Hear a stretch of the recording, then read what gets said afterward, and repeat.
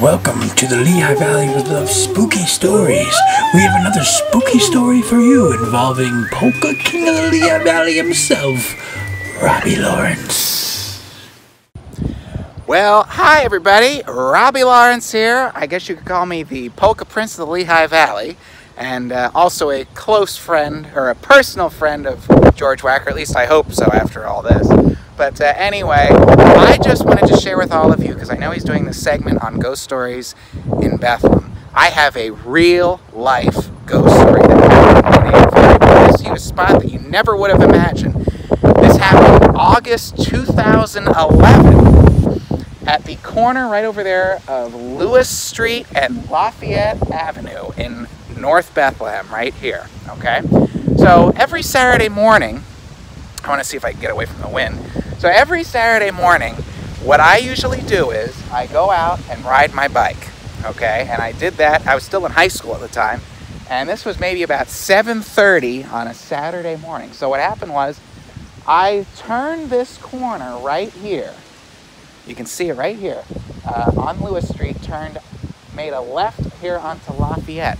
And as I was coming up Lafayette Avenue over here, I couldn't help but notice. Oh, by the way, the other thing too is it was not sunny. It was very cloudy and foggy that morning. It was very cloudy and foggy.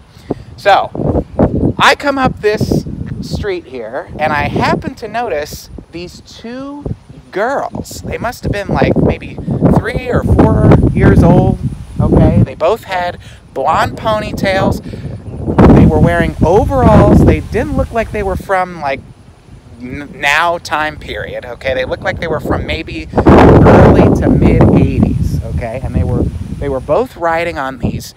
Uh, they were twins, and they were both riding on these plastic Little Tikes bicycles. I'm sure you remember them. If you grew up in the 80s and 90s, they were all over the place. I know I had one, and uh, they were just uh, on the sidewalk over here. Now, there were a few things that happened during this time frame with these girls, okay, that I was noticing. First of all, it was 7.30 in the morning. No parents around at all, and it was like just about ready to rain. So I thought, well, this is really odd.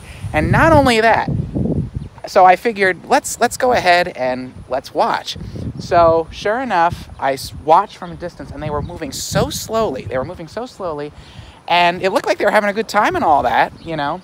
But the one thing that I had really noticed that was quite interesting to me was no matter how close I got to them, I never saw their faces. I never once saw their faces. They were turned against me the entire time. And not only that, no matter how close I got to them, because I could obviously tell that they were, you know, making a racket over there, I could not hear a single sound that they made. So I proceeded to just sit right here on the curb here on my bike, and I was watching them a little bit, a little bit longer. And eventually I thought, well, this is really strange. So what's going to happen? So what happened was I decided that I was going to watch them go all the way up to the corner up here. So now we're on the corner of, ooh, that's a nice Lincoln. Uh, now we're on the corner of, I guess this is West Boulevard, no, this is South Boulevard and Lafayette Avenue now. So what happened was they were right over there on this sidewalk, okay, on the opposite side of the street. I watched them continue up, okay, and what happened was, now this is a very, I, I have to try to explain this as best as I possibly could. So you see where things get out of view, like where that corner, where that car is, and then when you make the left, when you make a left, if you're, if you're uh, making a left-hand turn on the sidewalk, and then like once the house obstructs your view, okay? So what happened was they did just that. And so the one twin girl did that, and I tried really hard to look at their front, the fronts of their faces, but I could not. So the one girl decides to, of course, move left behind the house to the point of where I can't see her anymore. And then the other girl did just the same thing. But just before the second twin went, there was somehow like this ray of sunlight that was uh, that just started coming out of nowhere. Mind you, I said it was foggy and cloudy that morning. It was foggy and cloudy, and the front was moving out at that particular time. 7:30 in the morning, okay?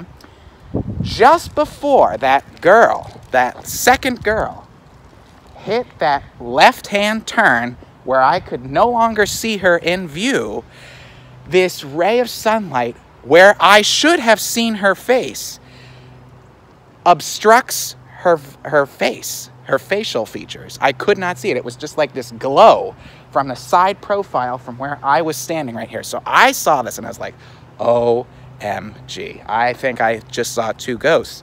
So I decided, so I was sitting right here. I was sitting right at this spot at this point, and I decided to go up as fast as I possibly could.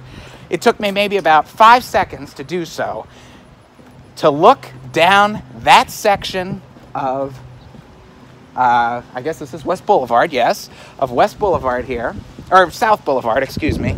And sure enough, that's what I saw. Nothing. Absolutely nothing. And what I did was I made sure to scale up and down the whole street here to see if there was a garage door open or a front door open or anything like that where they could have just ducked in easily. Well, guess what?